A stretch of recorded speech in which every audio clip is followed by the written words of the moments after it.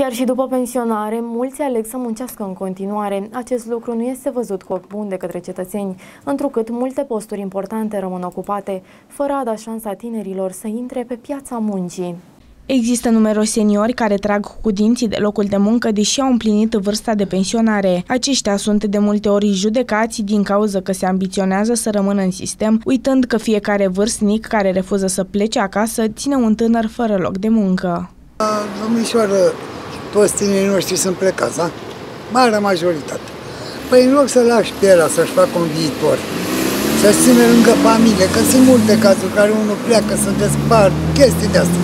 Mă rog, stai mă fratele meu acasă la tine, mă. Păi acum e adevărat că și pensiile sunt așa cum sunt.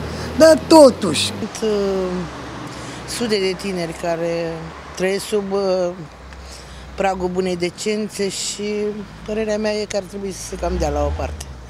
De peste tot, și din politică, și din învățământ, și din justiție.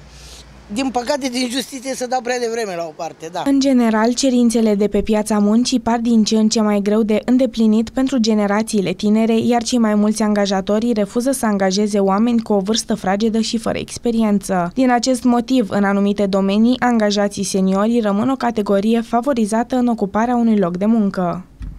Zic, eu zic că oamenii care au ieșit la pensie deja, e bine să iese la pensie, să vină ceilalți care nu au locuri de muncă. Dacă și la pensie ar trebui să stea la pensie. E normal. Dacă mai pot, da, dar nu ăia care vin de la stat să ducă tot la stat. Inclusiv guvernul preferă să aibă șomeri și nu pensionari, întrucât actuala coaliție nu pare să aibă foarte multe soluții pentru tinerii amenințați de o viață cu multe lipsuri, dar dorește să crească vârsta de pensionare.